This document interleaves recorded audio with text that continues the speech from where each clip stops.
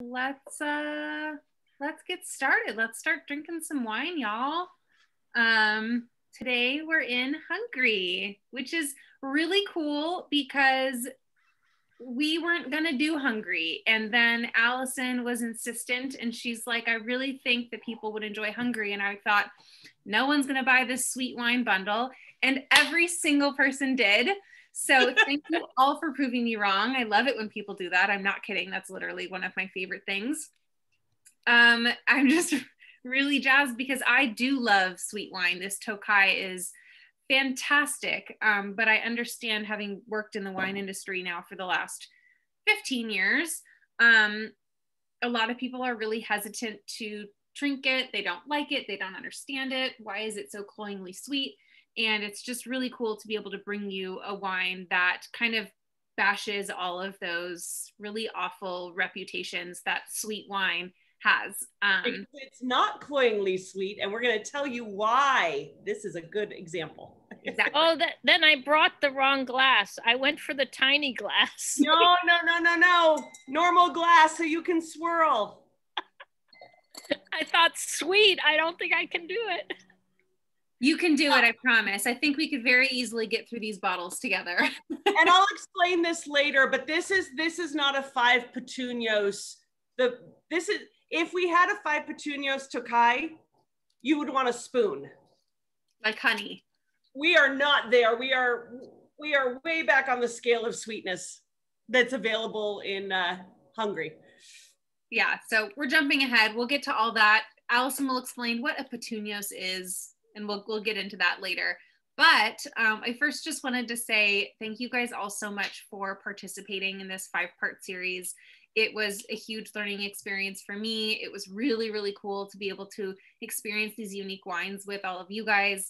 Um, I'll let Mike and Allison speak for themselves, but this was just such a trip, and I'm literally pun intended.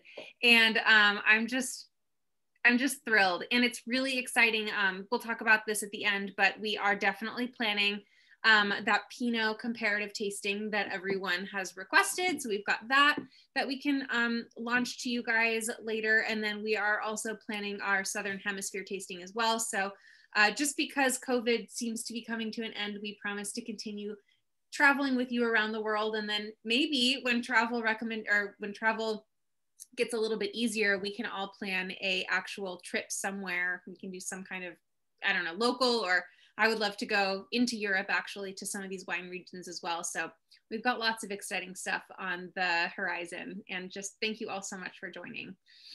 Um, and this is the last one. We're in Hungary. So last week we were in Georgia.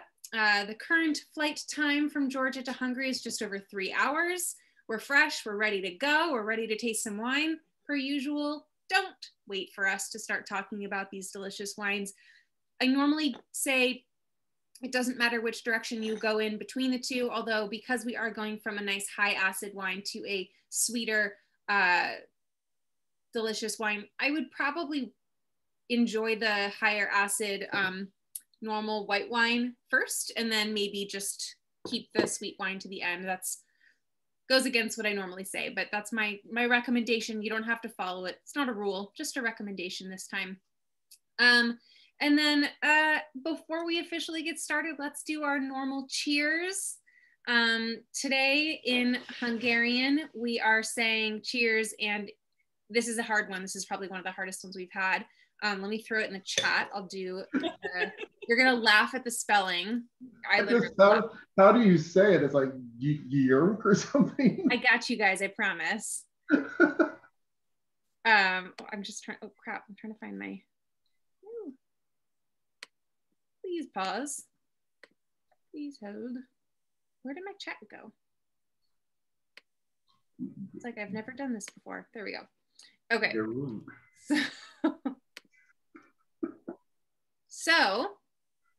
it's a hard one. Oh, it's okay. it's pronounced Egi Shigidra, which is probably wrong, but I've listened to the YouTube tutorial like 50 times. So Cheers, everyone. Egi Shadira. Egi Shadira. Egi Shadira.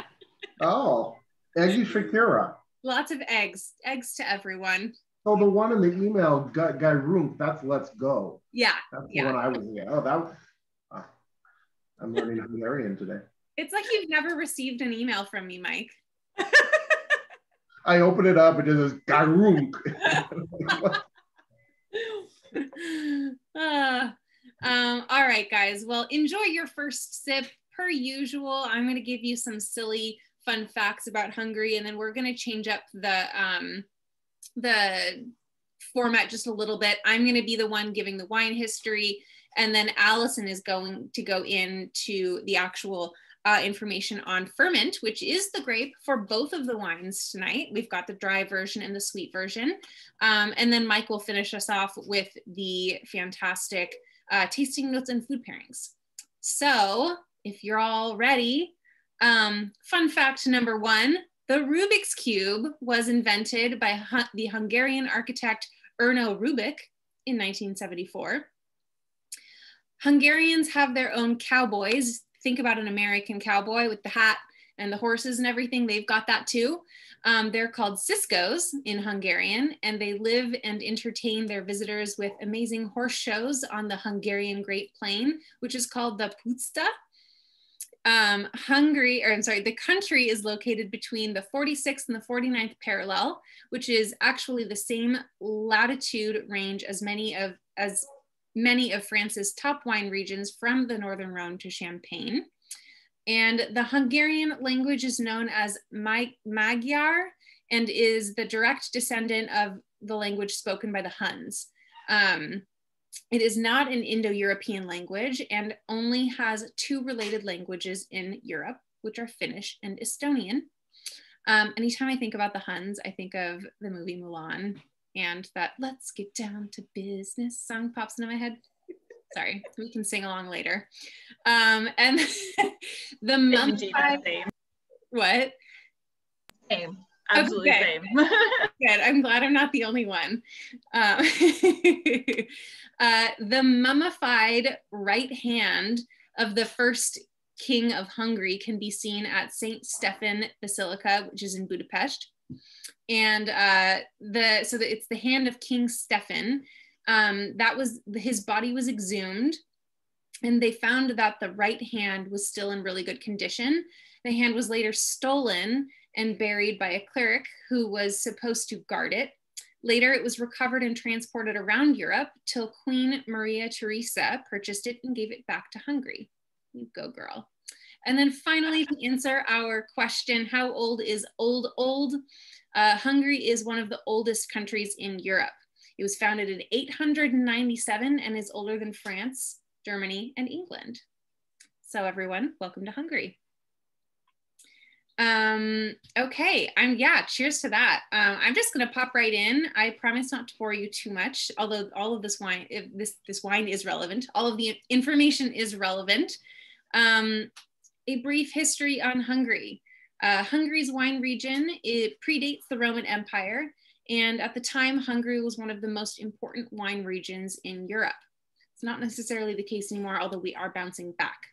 Uh, the wines of Tokai uh, were first mentioned in the late 1400s and were consumed by royalty, emperors, popes, and czars for more than 300 years. Uh, sadly, the Hungarian wine rule came to an end because of many factors. Um, first, the phylloxera plague in the 1880s, two world wars, and 40 years of communi- communist collectivization. Uh, during those world wars, vineyards were neglected and destroyed, and the country's entire landscape was changed by the Austro-Hungarian state, which was dissolved in 1918. Uh, collectivization, which I mentioned earlier, that um, is when the, all the peasants were forced to give up their small individual plots of land and um, turn them into large collective farms. Hello, Erin, welcome. Um, and so that happened in the 1950s. And so that just immediately ruined any chance for any small producer to produce their own thing. All of the grapes were then going into uh, exactly what the communists wanted, which was bulk mass produced wine, which of course is not as delicious um, as small produced wine or small batch wine. And then it wasn't until uh, the 1990s, after the fall of communism, that the wine industry finally began to bounce back and modernize. So today, Hungary is finally making its comeback, and the small estates have been replanted and cultivated across the country and are finally producing beautiful wines like the ones we have here tonight. And most of the country's vineyards are considered to be cool climate, and the winemakers today infuse traditional winemaking techniques uh, into their modern wineries. So there is always just a touch of history in um, what these winemakers are doing. Hungary has now 22 wine regions and 156,000 acres of planted vines, which grow hundreds of wine varieties. And finally, Hungary is rich in volcanic soils and limestone idyllic soil types, which are perfect for winemaking. Um, next up, we've got, I'm gonna share my screen with you guys. Uh, Hungary has four primary regions. Hold please. Here we go. So this, these major regions are kind of broken down into the smaller regions. So this map's just slightly harder to read. Uh, but basically the, the most important one that we're gonna be talking about tonight is this purple region up here. Um, and I will go into the other four uh, primary regions as well. Those are Eger, which is in the north. That is right here, this blue guy. Um, Villany, which is at the southernmost tip of Hungary, which is, see if I can find it. This is a very detailed map. It's down there somewhere. Uh, Nagy Szolnok, which is the smallest wine region. Obviously, we're not finding that on this map. And then Tokaj, like I mentioned, is in that purple region right there. Um, so a little bit about these regions. Um, Eger is uh, known for the grapes that there's a lot of natively grown grapes there.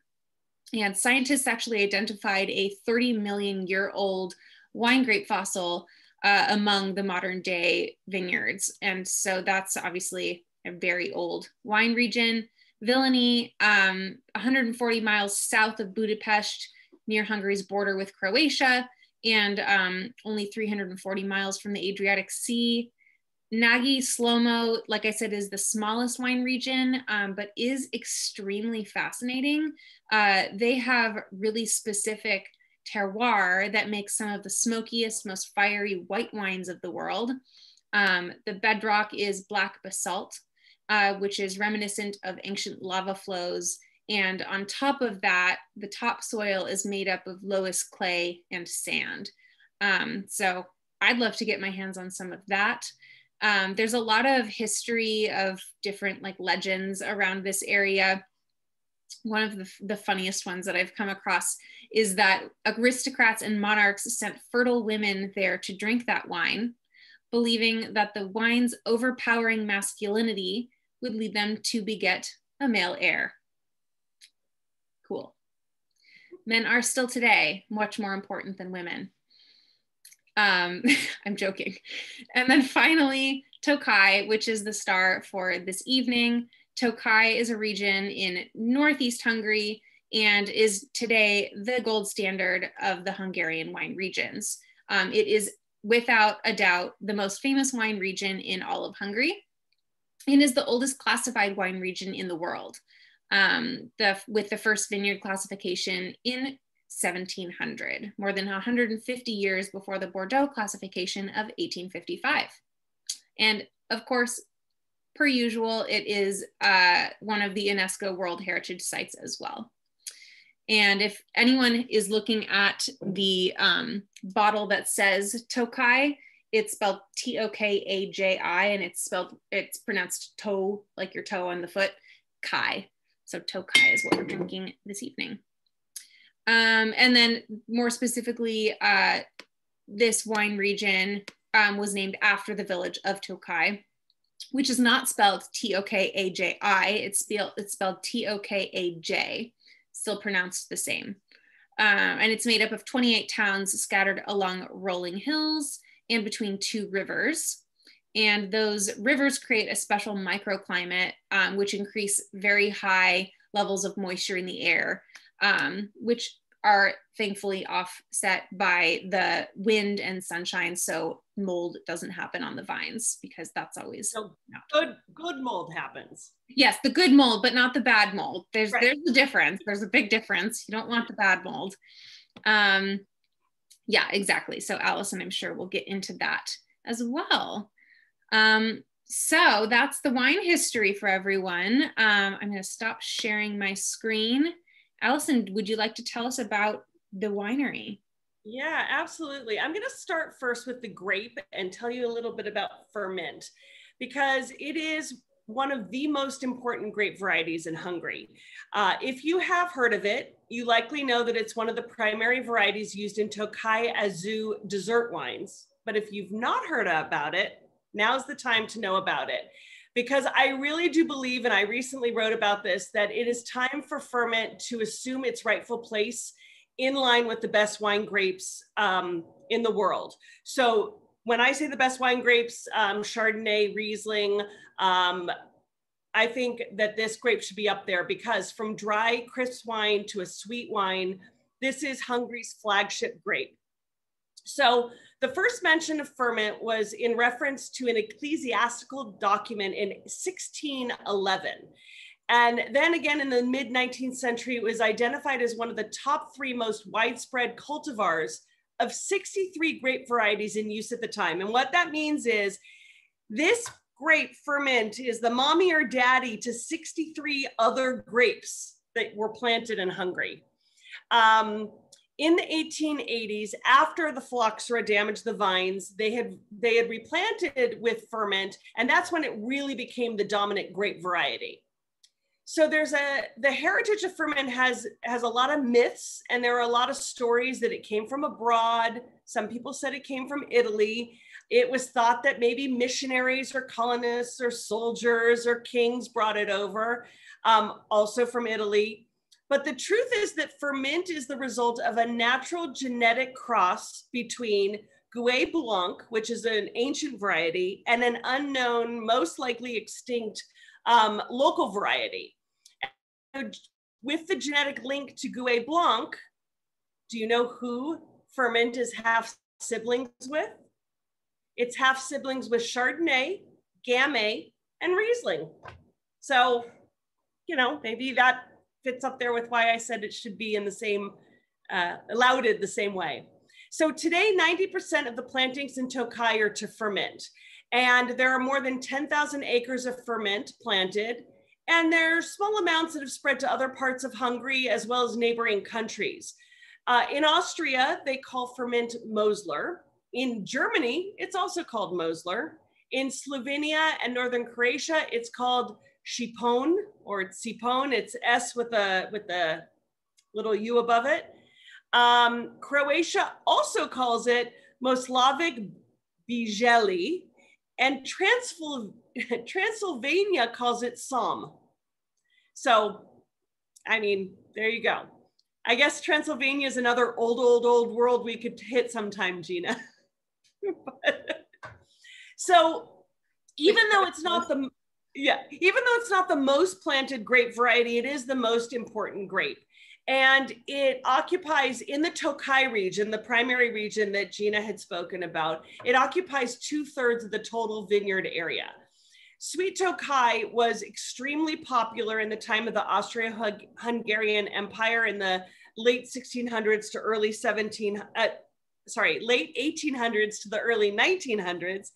And the you know the the growth of, vine, of Furmint vineyards has has grown steadily over time. And it can still be found in um, like i said some of these other countries. So um, one of the things about Furmint is that it can go from a light pale color and to light amber. It can have aromas of pineapple lemon blossom orange rind ripe pear white peach yellow peach and apricot but it's a variety that's known for picking up the distinctive minerality of Tokai soil and it beautifully expresses the terroir, which it has really adapted to over many centuries. So ripe unbotrytized grapes are used to produce the dry version. But, um, and I'll, I'll tell you a little bit about the sweeter version, the really sweet that we're not doing before we get tasting. But ripe, um, the thing about Furmint, it's a really thin skinned grape. So it's really susceptible to botrytis, which is noble rot. And it also has high acidity. So that makes it the perfect combination to make a sweet wine. So if the botry if the botrytized grapes find their way into the fermentation tanks when you're making a dry wine, like the first one we're going to have, it actually adds another layer of interest and complexity. And you might get sense of honeycomb or jasmine. So it could happen. So what makes Furmint really special is its lovely acidity, its lengthy texture, and if you do it the right way, it has a silky texture. It has the potential to age, and it has a great potential not seen with other indigenous varieties in Hungary.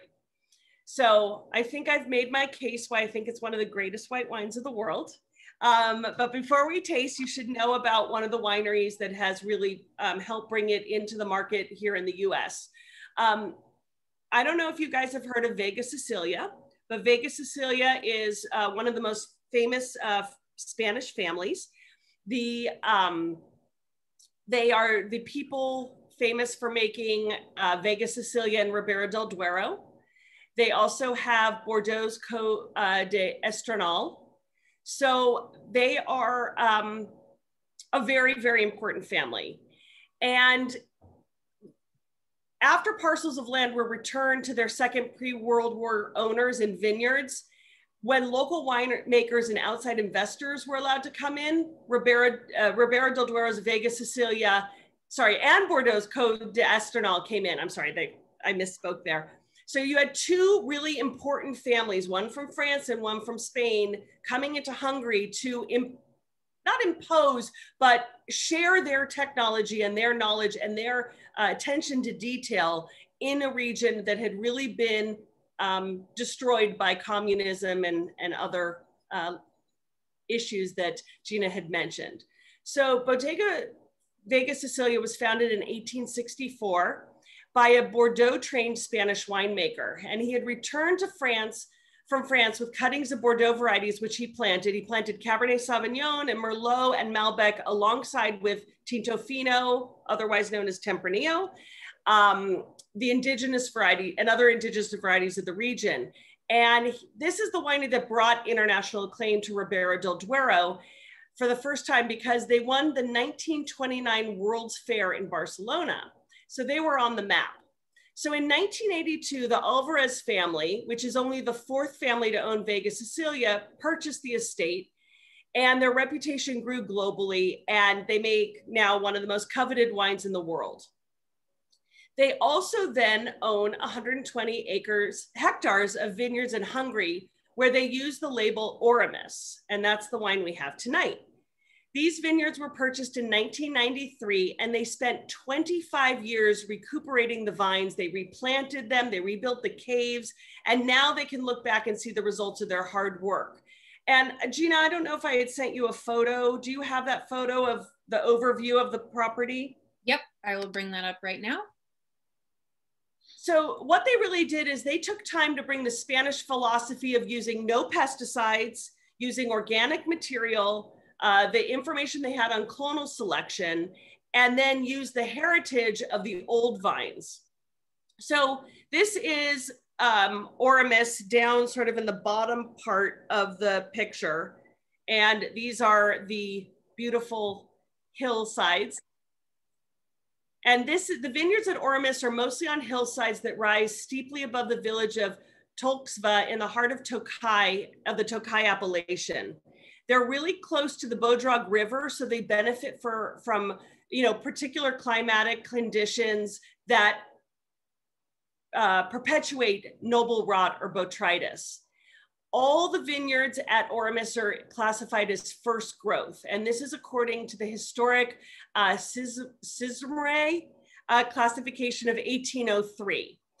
And the cellars themselves are found under the village of Tolcsva in a labyrinth of hand-hewn cellars that date back to the 12th century.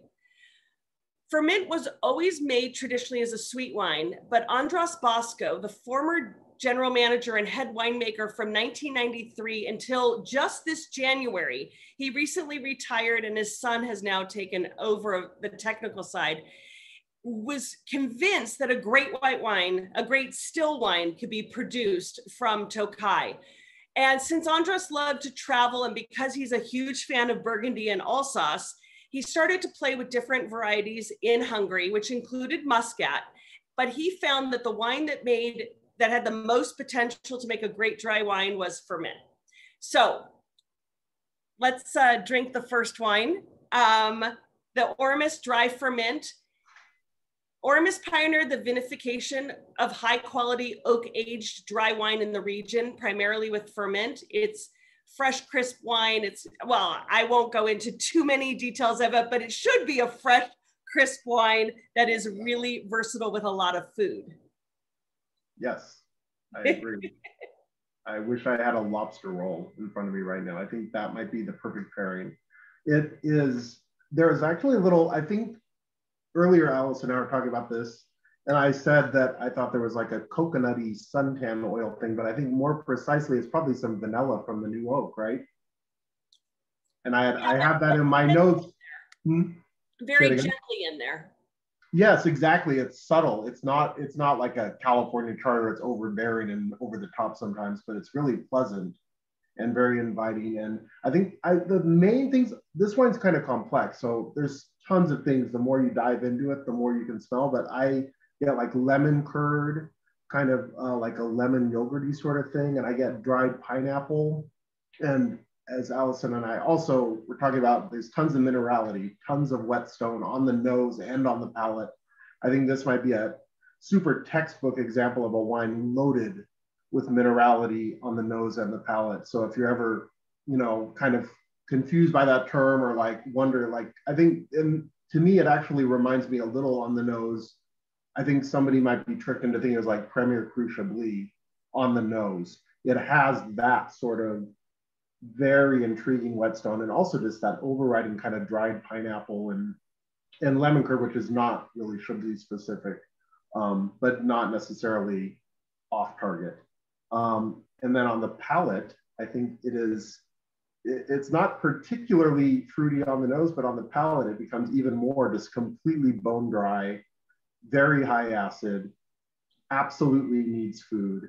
Um, however, it is very intriguing sort of tart green apple, a little bit on the bitter side, but all of that's in balance with sort of the bracing acidity. And there's again lemon on the on the palate as well. So I'm wondering if anybody else has any other things to mention that they're getting on this wine. Well, I would I would add that you know it's a really fresh and crisp wine but what's appealing to me on this wine is more the mid palate. It's got this really nice texture that kind of mm-hmm. sits there and mm-hmm. lingers. And, you know, there's a, whenever you ask, whenever someone describes a wine as minerality or stone fruit, I mean, I think this wine is a great um, example of what that means of feeling on the palate. That kind of like I feel like I'm tasting wet rocks and and you're loving it with, with lemon squeezed over it. Yes. And and and for some reason that's amazing. Normally people hear that and they're like, "Oh, well, that sounds terrible." But it's it's something only wine people tend to get. And the more you drink wines like this, I actually think it's this was also debated. I think it has oxidative qualities, not oxidized, because that's a different thing. A wine that's oxidized is probably a bad wine but oxidative qualities similar to you'd find in white Rioja or the Jura, like a Savagnin from the Jura. This, I would probably mistake this for that if I had it blind. That's where I would have went with it. Um, but again, not everything's super balanced on this particular Furmint, which is fantastic. I mean, that I think would be the overarching thing. It's not a, it's not a sweet wine. It's very dry, very food driven. And I think I'm curious what people are pairing with it. I saw this amazing, somebody, Kathy's eating right now. Yeah, Kathy, you got to unmute and tell us what you ended up making.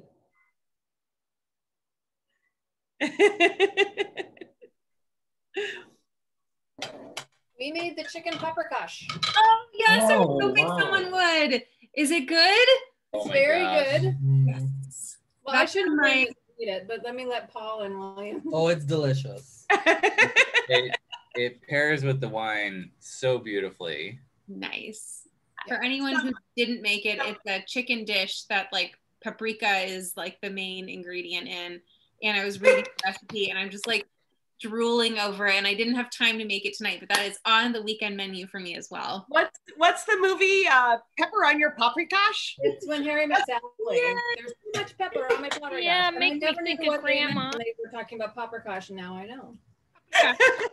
well, you know, it's interesting because I think that this is such a beautiful wine that it can. I would have this with sushi. I would have this with oysters. I would have this with a lobster roll. Um, I'm going to have some grilled salmon for dinner tonight. I think this will pair beautifully. I think it will go with Asian food, something with nice spice, Yeah. something with a nice spice in it, not something with the the spice that is out of balance. You know, so something Thai food. Um, There's a any of brininess. There's a Any brininess on the palate. yeah, sorry, I heard too. Go ahead. Go ahead. I was just, I was just saying as Kathy and not in screen. Uh, I was just saying any of those warming spices, not the upfront like capsicum spice, like let me clear your sinuses, make you feel like you're gonna cry and sweat at the same time, but that that spice that just you know irradiates from when you've had it. in fact, the the more capsian those those other spices are more for the next wine and wines more in that vein. But that you're you're spot on with what that goes with, and um, I just think like this is a very versatile food friendly wine. I, I wanted to say with the oysters, Chablis, I think is a classic pairing for oysters. Champagne, obviously, as well. But Chablis, I always go with the Chablis with oysters. But this might be better because it has more brininess on the palate. So you're just really going. They'd be lifting each other, I think. So I'm Um, curious. I don't know if This should Sabrina's. I don't know if Sabrina's listening in. I know she's. I mean, she's listening in. I know she's here, but I don't know. She always has good food pairings. So We hopefully. want Sabrina. Sabrina, Sabrina. so While hopefully. we're She, waiting- while we're waiting for her, I was recently in oh, Denver. oh, wait. No, Here she voice, comes. A voice in the dark. Oh, I actually had just had a salad with um you know chicken marinated chicken and um it was really simple. Did it work? but i have grilled pineapple for the next. Oh, Oh, but but did it work with a salad and grilled chicken? oh yes very much so. I mean, I, think that just shows how versatile, like, um, you know, even having it with, yeah, chicken and a salad. Like, why not?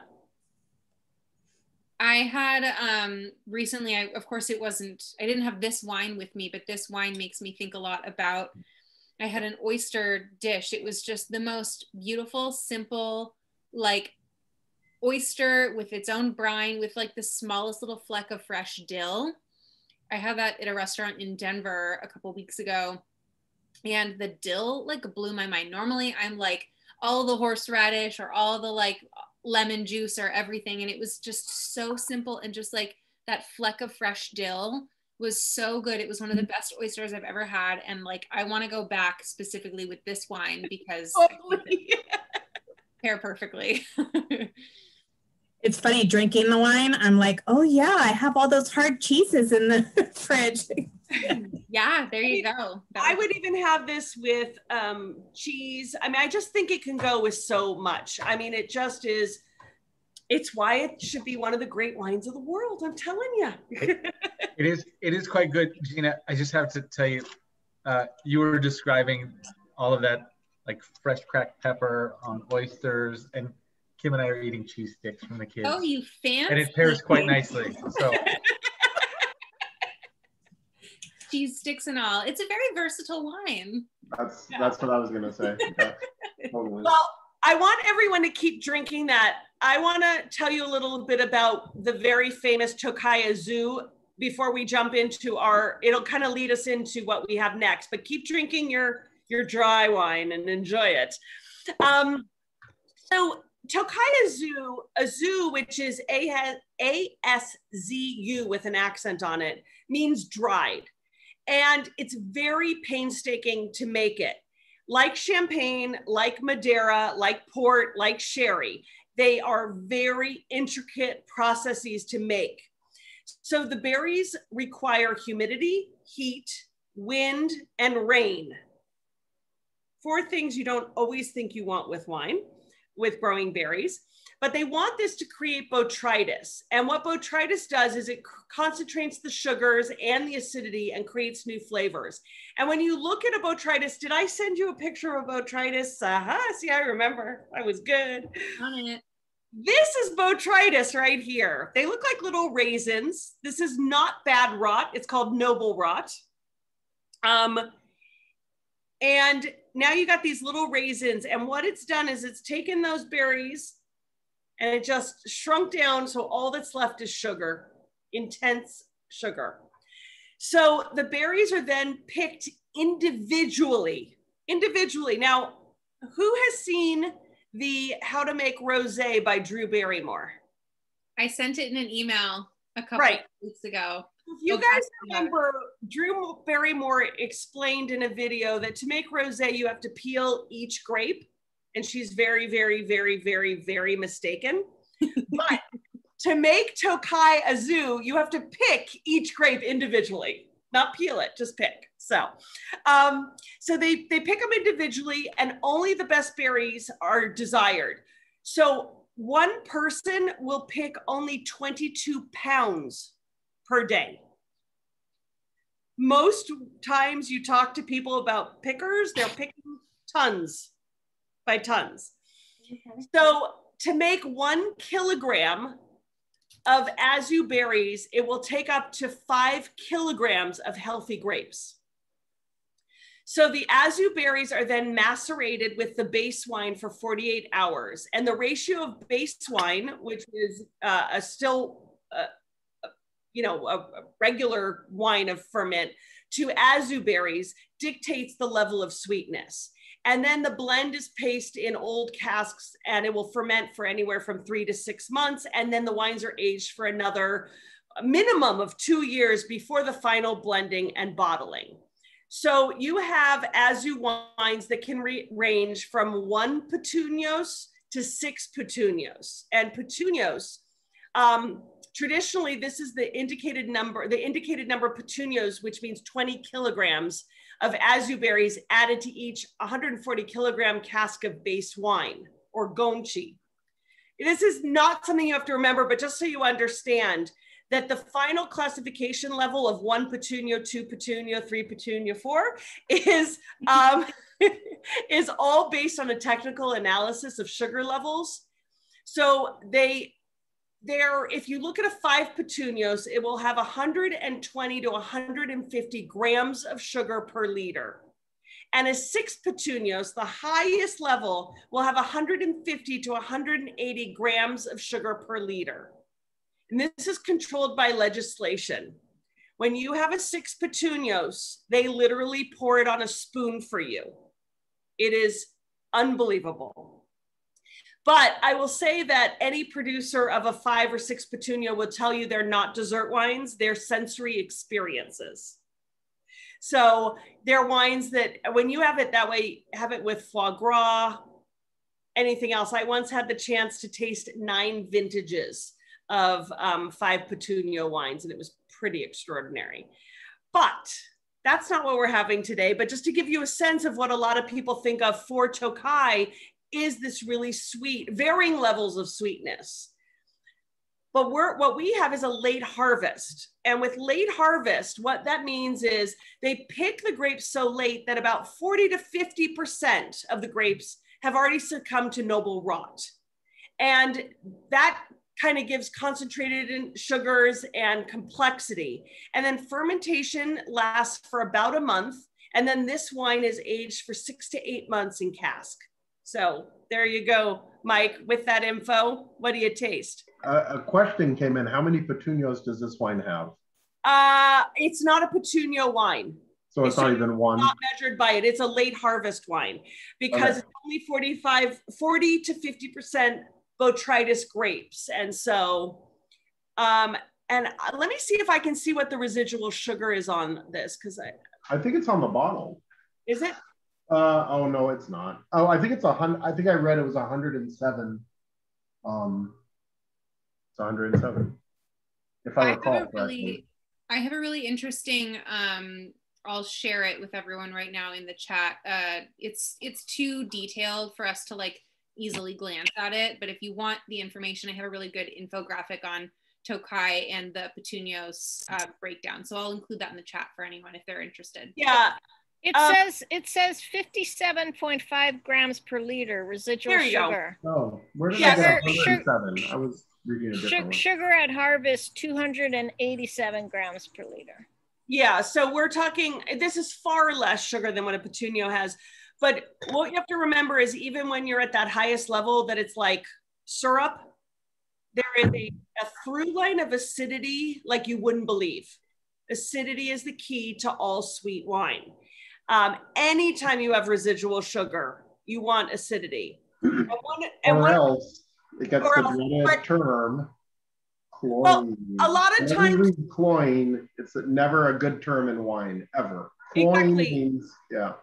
Yeah, and so you know when you think about it, and this is why I always say we're drinking dry wines unless we're drinking dessert wines because um, if you're drinking a quality wine, it should be dry, fermented dry, which is an impercep- imperceptible amount of sugar remains. Um, Allison, That- I'm gonna interrupt you really quickly. I told everyone to wait until we're ready to drink this wine. oh, drink, We'll drink it. Okay. drink. For anyone who has go. I No, but you want to have an but when we have a wine you know you cannot you cannot take all the sugar out of a wine in fermentation but we can't taste we can't taste any sugar in this first wine um, the only time you taste sugar when you shouldn't is when you're buying a five dollar merlot or cabernet or red blend at the grocery store then they add residual sugar in order to be more appealing but we are not talking about that kind of crap. And we're not talking about cheap dessert wines that don't have acidity. Taste this wine. Tell me if you get the acidity, but you also get the sweetness and if that works for you. While everyone's sipping, I will tell you the first time, a story of the first time I ever had Tokaji. It was at a very fancy restaurant in Santa Barbara. And um, someone gave me a small little glass, and I ended up pounding the entire bottle because it's liquid gold. And I got very drunk. So don't do that tonight. Enjoy it. This whole Um, I just messaged but well. Stacy commented that it's 11%. I'll tell you one little trick if you're ever shopping for wine. Anytime you see a wine that has 8, 9, 10, 11% alcohol, it likely has residual sugar in it. The lower the alcohol, the, the more chance of sugar. That doesn't mean that a 12% wine has, there are a lot of really low alcohol produced dry wines. But um, if you look at the bottle of Moscato, if you look at a bottle of Brachetto, they're at five or 8% alcohol. If you look at Riesling, Riesling is somewhere between 8 and 11% alcohol for the most part. So that's always like a sign to say, oh, there must be residual sugar. The question is, how perceptible is it to you? If you taste a German Riesling that is, say, 10 or 11%, might have a lot of sugar, but the acidity is so searing, you will never guess how much sugar there is. You might say, oh, it's a little sweet, but it might actually be a lot. The same thing with Madeira. If you ever taste a Madeira, the acidity is so intense that that it really takes if the sugar is up here, the acidity makes it seem like it's down here. And that's So balance. Yeah. That's what's really important about the acid and sugar balance in these wines.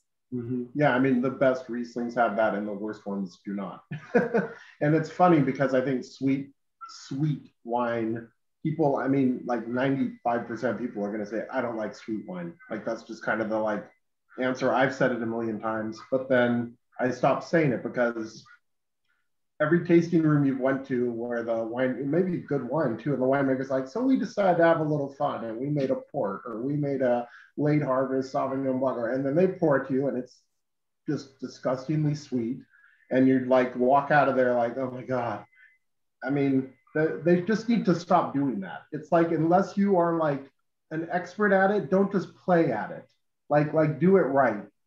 You know, with rosés, it's different. Rosés are easier to make okay, but like a sweet wine needs to be made with tons of acid and have all sorts of stuff going on. And I think this one does that.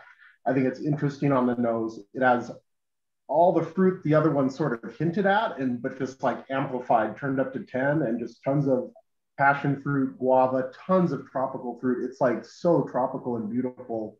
And uh, you know, there's a little bit of other types of fruit, but mainly for me, it's a tropical bomb. Um, and on the palate, I think it really has that balance. I mean, I like to compare it. I like always think about Riesling when I think when I drink something like this and kind of use that as a watermark, but I don't, don't think that's quite fair because this is far more viscous, I think, than a lot of like Spätlese or Auslese that I've had. And the alcohol's a bit higher. Usually those will come in sometimes like six or seven percent, and they just taste even good ones sometimes just taste straight up like a viscous sort of apple juice. And this wine doesn't do that. This has much more complexity and depth.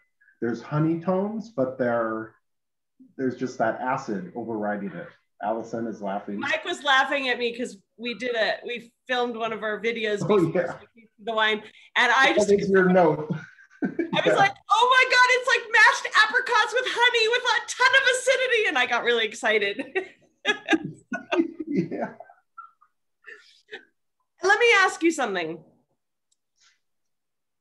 Who likes this wine? Who thought they didn't like sweet wines? All right. Who's willing to give a well-made sweet wine a chance? A well made. Qualify that. I like sweet wines that have been vetted by someone else. Like, okay, no, you'll like this one. Now, now think about this, and this is one example, but this others. You can do a wine like this, and this isn't even you know overly sweet. Think about foie gras. Think about blue cheese, so savory foods. Mhm. But also think about Sabrina. How does it work with grilled pineapple? I, I like it. It's actually really nice. But it's funny you said foie gras because the I literally wrote down this makes me crave foie gras mousse or terrine with topped with a jellied or paste of quince and a little finishing salt. Well done. We're sorry we can't see your face as you say all that, but Like I want it real bad. if anyone hasn't had quince before, it's this like amazing compacted. I'm not going to say the word jelly. Oh, I used to make jelly out of it. We had a tr- we had a tree in our backyard, and I would make quince jelly. Yes. It's so good. There's a Spanish restaurant um, in Santa Barbara that does little um, pin- pinchos, that like little like tapas style things, and they have one that has like quince cubes on it, and it's just like I could eat those all day. They're so good. It's a very old old fruit. mm-hmm. They're Hey, not Allison. particularly pleasant on their own, are they? They're very kind of like firm and weird, right? You have to make them into a jelly, I think. That's Right. right. I agree with Matt and Rigo is give sweet wine a chance. I absolutely love, you know, at the end of a meal, some people will have dessert. And if you don't want dessert, you might have a cheese plate. For me, a small glass of this would be absolutely everything I needed because the acidity is very light when you're full and you get that sweetness to satisfy the sweet tooth. To me, this is dessert in a glass. Like, Also, if you don't normally like blue cheese, I would honestly say while you have this bottle open, just push your boundaries even more and go get some blue cheese and pair it with this on a cracker and it like it will blow your mind. Like I if, if I'm wrong, if if you still think that blue cheese is disgusting when pairing it with this, I will give you uh, 20% off your next purchase at Wine Cult. You can hold me to it if you don't like it, I am happy to give you that, honestly. Like, because it it will it changes. The flavors are just like also with like a creamy blue cheese, it would be really good. yes. What about a vegan feta? Like a No, go away. Vegan feta. Don't start. Sabrina showed up for that. Cheese class night. We Raw didn't get the vegan feta. invite. Kathy, what did what did you and the boys pair with the sweet wine with the late harvest? I made the Hungarian shortbread, which I'm about to bring to the table. Ooh, we look forward to hearing. And I put apricot in it because I couldn't find a quince paste. Good call. Well, It's Because one of, a really good friend of mine has a tree. She lives in Seattle. If she lived closer, I would have asked to borrow because she her tree produces a lot, so she tends to have stuff year long. She'll freeze paste. She'll make paste out of it. So So couldn't is the the- are those coo- are those like hamantaschen, the shortbread with apricot? Uh, no, the recipe called for like a, an interesting shortbread recipe that added egg yolk to the recipe, and then you froze it for about 45 minutes. Then you grated it. Like Oh, you grated the, fro- it's- I know it sounds weird, right? That's weird. You grated the frozen dough. Um, so anyway, we haven't cut into it yet, but we'll see how it goes. Marcy, it looks kind of like um kind of like a really thin version of a like a crumble. Crumble. Oh, okay. and you know, it's really interesting. I think I can see why quince would work, but because I get so many apricot notes on the palate, I think with apricot jam or you know even a fresh apricot, it would it would be a perfect pairing. Candied ginger. Ooh, ooh!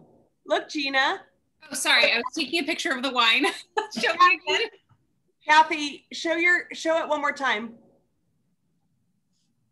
Oh my god, it's beautiful. Send I'll me you another piece when we cut into it. Yes, bitch. Oh, we need plates. Got the plate? Just.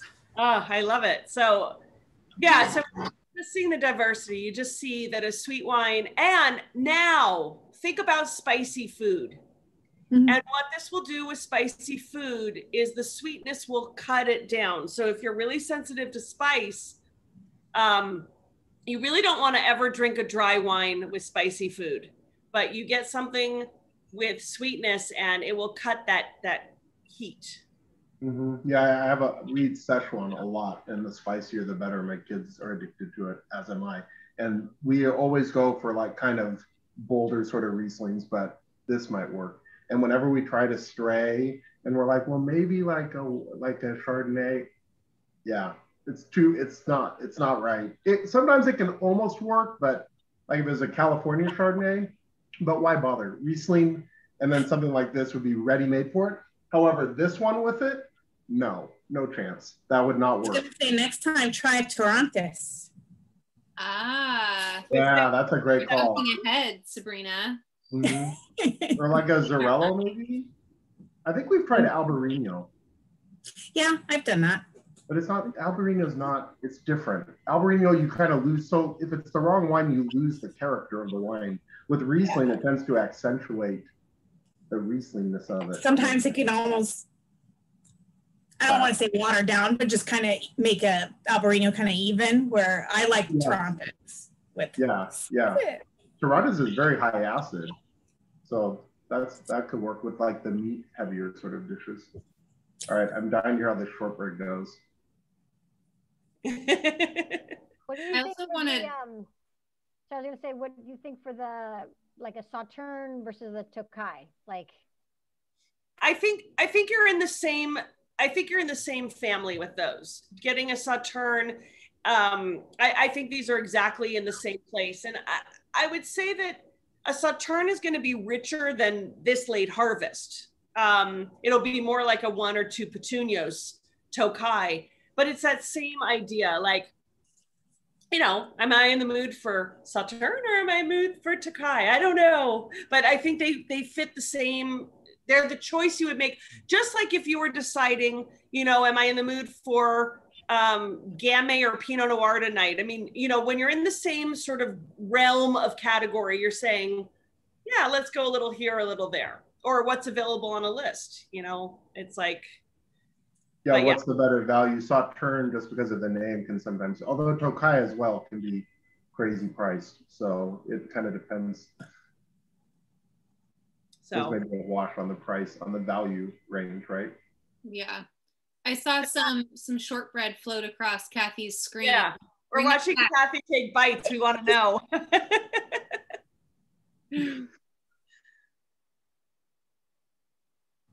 Kathy, Paul, guys, let us know how is it? Some wine for you, more wine for you. Um, Kim and Eddie shouted out in the chat grapefruit, and I'm assuming that's a tasting note for this wine. And Eddie did good Eddie. call. Yeah. This is yeah. I've been I've been doing. I, It I was don't know. more. It was more to the scent. We were trying to figure out what we smelled. I've been, I don't know how many I've done, and this is the first time I've ever gotten a like a legit tasting or a scent note. So I'm quite, I was quite proud of it. So Hi. we're Well learning. We're learning. It's really pretty. It's got all those tropical fruit notes. I'm now picking up even some like white flowers. You know, like the the flowers, like uh, what are they? You know, the Hawaiian flowers, the really aromatic. Is it Like jasmine? the guava and the like apricot sounded very good, but I was like, there was like there's something else, and we were like trying to figure out what it was. Yeah, definitely pink or white grapefruit, like on the nose heavily. It's really floral as well. It, it smells like you're walking into a flower garden in Oahu or something. It's beautiful. Not so much now, but when I first opened it, I got like the aromatics of like neroli, you know, so like a nice citrus blossom. And honey. I'm really enjoying the like whole mouth Oh. experience. Oh no, someone Sorry, else. though. Jeanette, Jeanette jumped on. What do you? I know. She never shows her face. I just wanted Gina to know that my husband Darren hates blue cheese and he begrudgingly said, It's okay. Woo! I take it. That's amazing. It's the pairing. Yep. Really, like it's like this gorgeous gold juice that makes blue cheese better. Well, I mean, it, It really, really is is a- an interesting thing because I've been up here, I've been traveling now for a week and um, up in Northern California and, um, you know, interviewing winemakers for my podcast. And I always ask them a question about food and wine pairing. And it's just always an interesting thing when you really think about how to approach. I mean, first of all, you should always try everything because you never know what a sweet wine could work with something you didn't expect or you just never know until you try and you know winemakers are in a better position because they usually have a lot of open wines and they're not wor- they're not they're not worried about opening a ton of wines unlike us normal consumers who are like this is the wine i picked tonight. If it doesn't work damn it. You know um but you know it is kind of it is one of those things that so many times we can say we don't like a wine or we don't like a food but when you put them together it changes everything. And you know that's when you can say at the end like you know it's not my preference to okay i'll say it's not my preference typically to drink cabernets. That's not my jam. I'm i'm a little more on the other side but let's face it when i have a really good bordeaux blend with a nice piece of meat i understand why it's so good so And the blue cheese reduction on it. exactly. so there you go. I was gonna say that. What? We're done? Wine converts. Oh, I thought we're. I thought you said we're over, and I was like, wait, no. um, I was gonna say that I really appreciate this style of wine because it. We talk about mouthfeel with every wine. Of course, every wine has its own unique, you know, experience with mouthfeel. But this specifically, I mean, you get the acid, which always kind of attacks this part. You start drooling, but then like, sorry if this is gross, but like the the drool mixed with the like sweet luscious wine in your mouth. Like it's just it's such it's such an experience. It's so good. And um yeah i'm really happy. This is, was like the perfect way to to finish the series a sweet finish. You were right. That did sound gross. well you know. I, i'm a professional but i never said i was classy. That is said nowhere on my website So Gina, you want to tease them with what we got next, even though they all kind of know already? Yeah, so we talked about this at the end of our last tasting, um, but we are we've we haven't finalized anything, but we've definitely reached out. We have an idea of the wines that we're going to be featuring in our upcoming tastings, and we also have some uh, tentative dates. I say tentative only because I'm just scared that for some reason we won't be able to get a wine, but throw these on your calendar. Of course, I will send you an email officially inviting you when we um, have everything locked down. But we are going to slot in our comparative Pinot Noir tasting, which was heavily requested by all of you last time. We're aiming for that on June 11th. So save the date on that. Um, it's not going to be a blind tasting, but we are going to be discussing specific regions. Um, the last time Allison and I chatted, what we think, because of course, like regionally specific Pinot Noirs are can be very pricey. We want to make this approachable for everyone. Um, it's going to be my Google sheet just signed me out. Uh, Willamette Valley, Russian River Valley in Sonoma, and Santa Rita Hills in Santa Barbara. Yes. And the fourth we wanted was Burgundy, which we found an affordable Burgundy, but it still was going to take the price up. Yeah. So what we'll probably end up doing is creating just the the New World um, regionally specific Pinots and create those as a bundle, and then do an optional Bur- Burgundy add-on. Um, which, of course, if you want to do all of them, then that's fantastic. And we will in the net in that tasting we will talk about the burgundy but we won't do as heavy as a deep dive but we do want to make that purchase worthwhile. So we'll we do always like to give context to these new world wines with the old world wines. So we wanted to make it affordable and approachable but also just in case you wanted the whole package and the whole experience we'll make that available for you guys. And then um, we are also going to we also have plans to um, launch our South America and um, Central America tasting, and that's going to be Chile, Argentina, Mexico, and like we mentioned last time, a Uruguayan and Brazilian uh, sparkling wine. So, or Uruguayan Tannat with a uh, Brazilian sparkling wine. And um, so we're planning on that. I still have to get confirmation from some of the importers that's our plan. But the date for that, and I'm is um thank you, Allison. the first one would be June 25th. Yes. Then July 9th, July 23rd, and then if we do the fourth one, it would be August 6th. Yeah, so spaced out every two weeks, like we've been doing.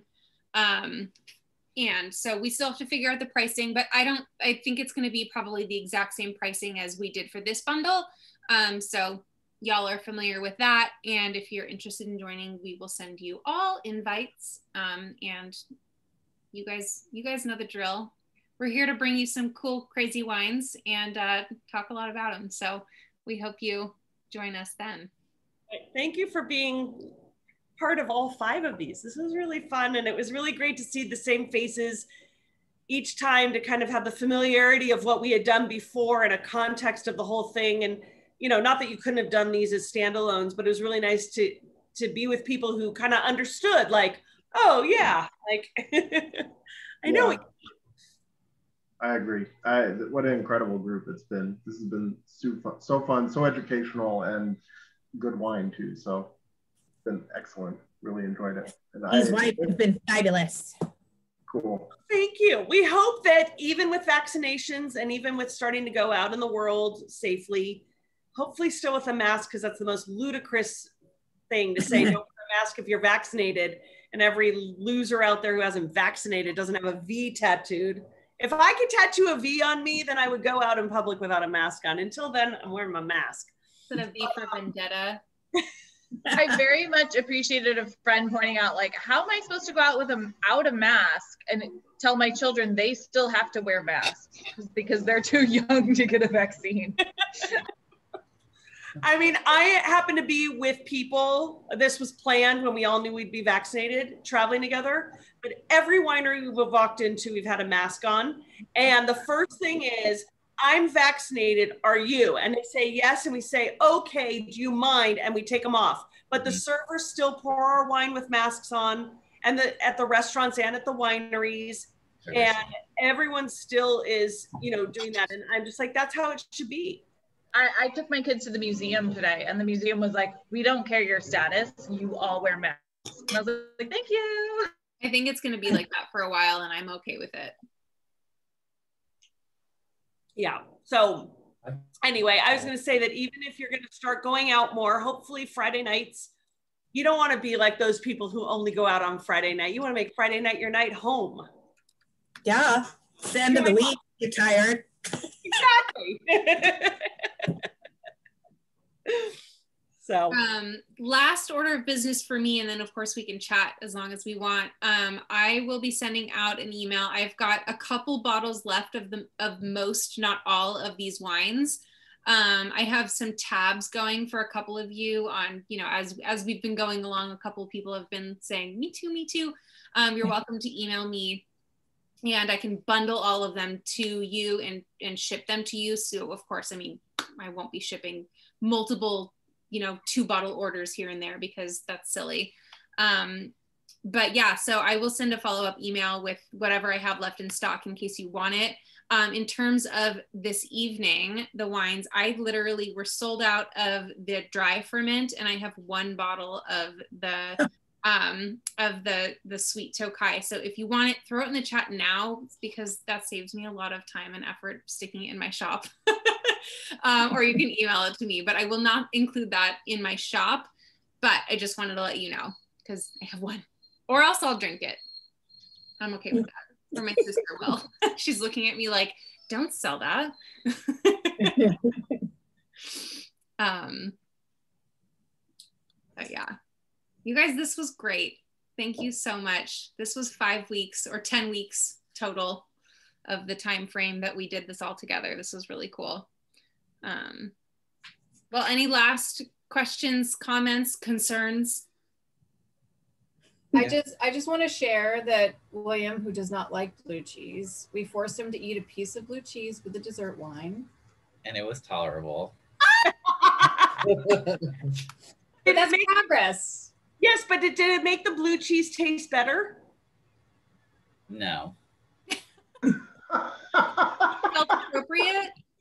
But, but you didn't tolerate blue cheese at all. No, I would not. So it did make it more tolerable. it was edible. So we went from, we went from zero tolerance to edible. We'll It take went from inedible to editable, so edible. So that I mean that's progress. You were in the right direction. William, Or- we're or really the proud wrong of you. direction. Anyway, we tried it with both the so in like I said, I made the shortbread but with an apricot jam instead spread instead of the quince, and we also tried it with the blue cheese. Different experiences, but both really great. Mm-hmm. We prefer the apricot shortbread. That's us. So that was Who I just wanted to share that little. I would, I, I, I can understand that, and I would say that, um, yeah, I mean, different experiences, right? I mean, it works with both. You might prefer one, but Allison, what you meant to say is obviously William has taste. well, no, you know, if you think about it, it works with either one, and you can have a preference, but you would never put the dry Furmint with either of those. Mm. You wouldn't enjoy. I mean, you could, but it wouldn't be as an it wouldn't be an experience. It would be just like, here's my wine and here's my food. And I don't think it would taste very good with blue cheese, to be honest. I think yes, the minerality and the blue cheese would be weird together. Much. I have a question for the group. Was there any um what was your favorite country that we visited? Was there any memorable wine or any uh so we did I mean, I'm going to work backwards. Hungary, Georgia, Armenia, Slovenia, Croatia. Croatia. Did anyone have a favorite? I think for me, the one that like stuck out as like a surprise, like, oh my God, I like, I will drink this forever, was the red wine that we had from Armenia. You ready? Mm. You really like that one though. The Picassi Rebula was that for me. That was the Slovenian white. I ended up putting it in my wine club to feature it and um, mistakenly sold out of it. And I was like, crap, now I need more for me because I didn't get any. And it's just like I have dreams of it. Like it's just so good. That that's that's my palate. I like all the whites were i mean all the wines were fantastic and such a great introduction to all of the countries and but and they were all outstanding but the whites were really well balanced. I mean, same with the reds. It's they were all really. You guys did a fantastic job of choosing and selecting and educating, and it's been a phenomenal experience. I've really enjoyed it. Thank, Thank you. you so much. Thank, Thank you. We we are struggling to remember because we were out of town for most of this, but we're both leaning towards Croatia. I think we liked Croatia. Although I really liked both of these too. We sold out of, I think, all of the Croatian wines as well. That was a popular one for sure. I Yeah, I Nina probably have knows better of whatever I ordered extra, but Well, I still have a couple post ship. Good. We'll come to your house, Brina. So, I mean, yeah, so many great wines. I don't know if I could pick a favorite. I like them all. It's hard to. Uh, I'm with Gina. It was the Slovenian. The that was that was good. That was the one you said, right? Yeah, yeah. That was- the that- Rebula. Yes. But I I'm tra- not I, sucking for those. I traveled with some wine up here to Northern California because I had to bring the wines up here knowing I was going to do the virtual tastings. And I had a virtual tasting last night as well. And I had room. So I threw in that Pet Nat Blaufränkisch, which I'm going to go drink now. Nice. Good call.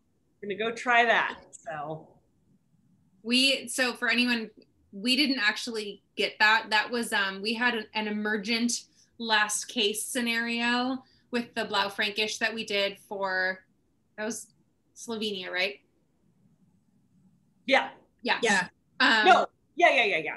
yeah and so we thought that we had had everything ordered and placed on hold for this tasting and then the distributor came back and said just right before we were about to order we have you have the last case in existence of this wine and of course we sold out of it. And the the next plan was if anyone wanted to purchase more we would throw in a pet nat um, which is fantastic which i am planning on bringing into my shop. I haven't done so yet. Um, but you'll all get a notification when we do. But that's that's the one and it's it's fantastic. So stay tuned. All right guys. We will give you your friday Thank you so much. thank you so Thank much you so much for these tastings. Thank you guys for joining us. Hope to see you at the next one. Yes. we'll see you very soon enjoy your weekend enjoy your next couple of weeks and we'll talk to you soon thank Great. you Bye.